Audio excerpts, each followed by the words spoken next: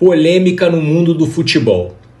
A eleição de Lionel Messi como o melhor jogador do mundo de 2023 pela FIFA causou estranheza, inclusive entre seus fãs mais fervorosos. Muitos acreditavam que Haaland, com seus títulos e recordes pessoais no ano, merecia muito mais o título de melhor jogador. Essa escolha gerou debates, principalmente porque a Copa do Mundo não era critério para a premiação contando apenas o desempenho no ano passado, quando Messi já estava nos Estados Unidos jogando pelo Inter Miami.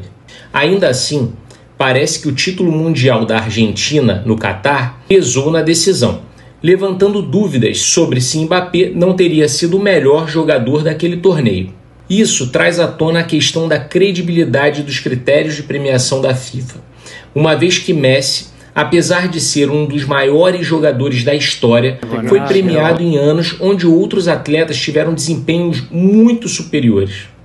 No final, o caso Messi levanta questões importantes sobre como avaliamos e premiamos os atletas e sobre a justiça desses prêmios no contexto do futebol mundial.